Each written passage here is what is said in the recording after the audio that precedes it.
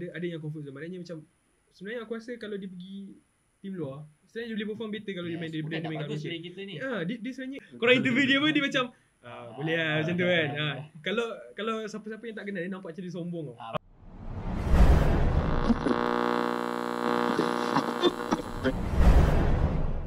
Okay, kita cerita esok dah start wildcard lah. Uh, ada ada 8 team yang berebut untuk 2 slot untuk ke kejuaraan dunia kan. Hmm. Of course nak cerita pasal tim Malaysia SMG. Kau melihat prestasi SMG, uh, aku rasa dah 2 season berturut masuk grand final. Peluang dia macam mana? um, mungkin sebab aku rasa orang ni ada macam blessing in disguise lah. Bila dua kali masuk grand final tu turut and then kalah, bila hope tu tak terlampau tinggi, orang kurang pressure. Hmm. Tapi ini daripada bapak kau tak sure macam mana orang handle dia punya pressure sendiri. Sebab dan lagi bila wildcard kita ada satu team je. Untuk merebut ya. satu uh, dua slot dengan adanya pasukan-pasukan lain, pasukan daripada Mongolia, dengan Mena. adanya uh, MENA dengan ada kebangkitan daripada negara China. Jadi mungkin tu secara tak langsung dia lagi main dekat Malaysia. Jadi mungkin daripada tak ada pressure, pressure dia makin lama makin banyak. Tapi sebabkan dengan ada pemain-pemain yang kita kita boleh tengok macam mana dia punya pengalaman yang cukup besar. Kita ada Sasa, kita ada Smooth sendiri. Lepas tu ada bantuan daripada Dua dari import dia. dua pemain import, Miku dan juga Saksa. Betul. Lepas tu dengan adanya coach daripada Coach Pau Hmm. dengan bantuan daripada Lung dan juga Haru yang sentiasa berada dekat dalam uh, apa ni Orang belakang lah. orang tulang belakang untuk pasukan SMG um, atas kertas aku rasa diorang tak ada masalah untuk pergi tapi macam mana diorang adapt bermain dekat tempat sendiri dengan ada pressure itu yang akan uh, bagi diorang satu cabaran macam mana diorang nak buktikan yang diorang ni sebenarnya pasukan yang boleh pergi sampai ke M5 Kalau aku aku rasa chance untuk SMG tu aku letak memang tinggi lah 95 Oh. 95 dia memang benar boleh layak sebab uh, nak bukan nak, nak pandang rendah tim-tim lain tau tapi Hmm. dengan prestasi yang macam mana diorang main dengan homeboys tu kita nampak yang Oh, diorang ni ya. ah diorang ada tactical tau sebab diorang ni main macam diorang ada diorang ada perjalanan game tu sendiri maknanya diorang ada buku Yes. Sebab Ah. sebelum ni pun kita pernah interview dia orang untuk dia orang punya persiapan kat M5. Dia orang Hmm. memang fokus game saja. Yeah. Game. Dia orang tak fokus benda lain apa marketing lah apa Ah. semua. Hmm. Dia orang memang fokus untuk game je. betul diorang fokus memang untuk uh, diorang punya game game plan so aku rasa yang lepas kalah dengan homeboys tu diorang dah fix macam mana diorang nak handle early game dia sebab kita nampak yang uh, homeboys kalau menang early game oh seram kan dia memang sampai sampai orang Indonesia orang Filipina pun cakap oh, ini kalau homeboys early game dia kalau menang memang menang menang terus lagi game tu kan tapi kalau untuk SMG dia macam uh, yang lawan dengan homeboys dia sebab jadi macam tu lah kan kalah early game tapi kalau diorang ada plan yang uh, strategic master master plan yang betul kan diorang punya game tu sebenarnya very clean lah diorang disiplin senang cakap Sebab kalau kita dah cakap Ha. ha. team dekat Malaysia ni, kita dah tak payah nak nak nak questionkan dia punya skill. tak skill So, semua yang main part. Yang membezakan dari macam mana orang susun strategi, kurangkan mistake kurangkan Ha. mistake, macam mana orang punya dari segi uh, mental preparation Betul. itu yang bezakan tim-tim kat Malaysia. Nak ka- nak cakap pasal individualnya skill semua dah top notch. Memang semua power power. tu lah tu paling paling seram lah untuk SMG aku rasa dia punya tactical dia disiplin tu yang Hmm. buatkan diorang 95% memang boleh layak untuk Sebab uh, of course aku rasa korang dah dalam grouping ni dia ada team uh, American Esport kan, Nightmare Esport Nightmare. team Falcon kan. Kau korang uh, aware dengan team tu ni? Korang tahu kekuatan orang. Okay, personally uh, tak aware sebab orang bukan pasukan yang digembar-gemburkan yang boleh dikatakan bagi saingan besar tapi uh, kita tak tahu. Uh, daripada masa tim ini di-announce masuk uh, ke wildcard sampai le tahap ini kita tahu macam mana dia preparation. preparation. Apa yang dah berubah sebab dah, even dalam masa seminggu pun banyak yang boleh uh, Jadi, ya. boleh jadi dan mungkin ada peningkatan dari segi uh, strategi macam dia orang handle daripada micro dengan macro jadi uh, mungkin pasukan daripada SNG diorang tak boleh pandang rendah. Mhm, betul. sebab bila terlampau diorang terlampau berasa dalam kedudukan yang selesa mungkin benda tu yang akan sebenarnya hancurkan diorang. Bila diorang ter- terlampau rasa overconfident. Jadi diorang kena uh, layan semua team sama. Uh, yang penting fokus next game. Jangan fokus dekat grand final. Fokus next game. Hmm, okey okey. Okay, contoh kan uh, SMG start pada season berapa dia masuk? season 2 eh season 8 kan eh season 7 Tujuh tu lambat kali lah macam tu kan. Kau tahu peningkatan peningkatan SMG sebenarnya bila ada orang kata macam okey bila kemasukan Sasa season bila balik pada tengah masuk SMG kan season membuat 8 per, membuat perubahan pada SMG sampai sekarang dengan season ni ada Miko sekali. Kau rasa benda tu one one man show ataupun dia impact satu team sebenarnya? Kau jawab lah. Dulu. Kalau kalau aku kan Sebagai seorang custom dia tengok dia main tu. sebenarnya kalau untuk SMG kan aku suka, uh, suka dengan individual dia masing-masing lah. Contohnya macam uh, sebut tadi le- legend lah Sasa kan. Uh, Sasa ni dia yang chill tau.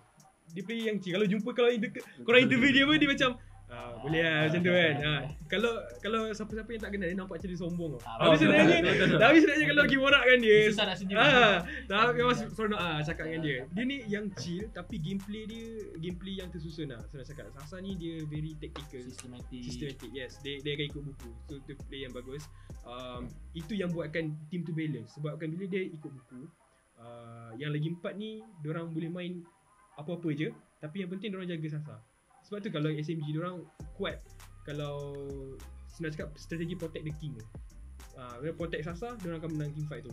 Lepas tu orang dulu ada mid laner yang seram lah senang cakap. Zaim Senpai kan Zaim Senpai tu mid lane yang bagi aku Hmm. mengerikan lah Tapi bila ganti dengan Stormy Stormy tu senang cakap dia uh, Dulu underrated lah Sekarang dia dah Dah magic. Nah, Dia memang Jadi legend dia pun Antara Betul juga. Kita gelar dia match prodigy kan Hmm. So rasa untuk M5 ni um, Kalau untuk homeboys Orang tak nampak sangat wallet kan Sebab banyak yang carry dia Kat god lane Ryzel kan Tapi kalau untuk SMG ni kan Kita mungkin akan nampak uh, Stormy Dengan Bagi aku smooth lah Dua, Hmm. dua tu karakter paling penting untuk untuk uh, Song hero lah Selalu orang nampak Sasa Miko Tapi Ha, diorang ni yang sebenarnya dua ni yang dua ni kacau memang kacau betul lah.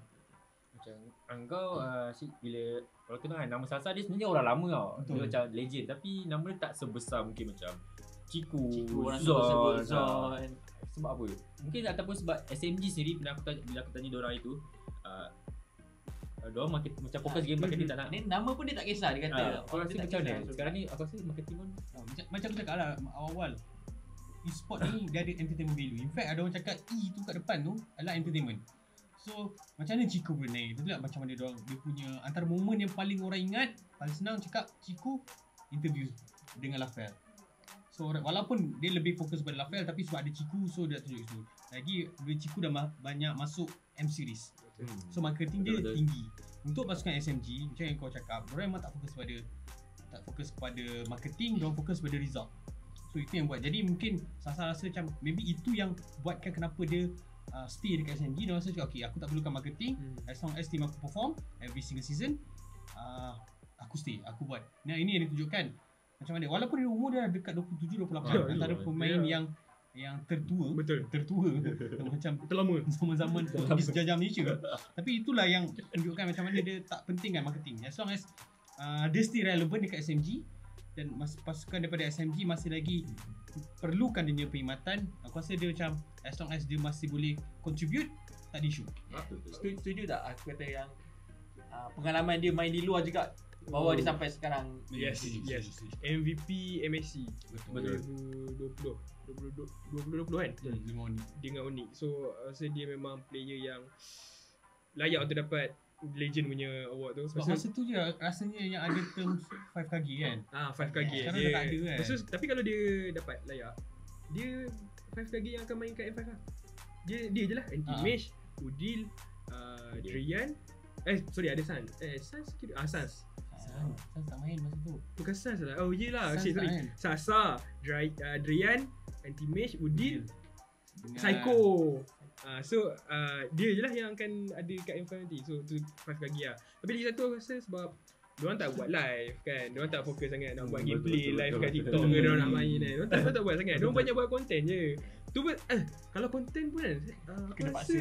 Ha, aku rasa macam Semua semua konten je dah jedu Dia tak fokus kepada gameplay pun kadang-kadang kan. Sound dia main tibai Sound apa-apa kan. So aku rasa macam SMG ni ya Dia fokus to result. Kan. Tapi sekarang dah, dah ramai yang tak berani nak keluar Ah sebab Sasa mungkin uh, aku rasa yang last main Sasa dengan Ripo. uh, Ripo je lah kot Oh main kat tak, berani dapat Ah, offer sebab- luar ah, tu Sasa jawapan dia jawab apa kan? Dia kata Dia kata memang player patut main cuba kalau dapat peluang keluar tu main luar tapi bila kita on TV sekarang kan bila dapat peluang keluar semua macam tak nak tak nak tak berani apa pendapat kau kan Mungkin dia aku rasa dia konsep sama dengan sukan-sukan lain kot. Mungkin dari Okay. uh, mungkin dari segi prestasi apa yang pasukan luar nampak dekat player kita. For example, kita ambil contoh ini ini cakap brutal fact lah dekat Malaysia. Siapa pemain Malaysia yang betul-betul outstanding? yang yang main kat luar ke apa? yang main kat Malaysia yang kau rasa Ah. tim luar kita ambil contoh pasal contoh macam pasukan macam Oni pasukan RRQ yang orang willingly nak invest untuk ambil orang main kat luar ha. sebab banyak sebab apa yang aku perasan dekat Malaysia player kita bagus tapi diorang bagus bila bersama Diorang tak ada Oh. outstanding moment. Alright? Itu satu. Satu lagi yang buatkan kenapa Banyak tim-tim luar tak invest Ataupun tak nak ambil player pada Malaysia. Satu sebab Prestasi dekat uh, international tak memberangsangkan. Diorang merupakan pasukan-pasukan yang franchise.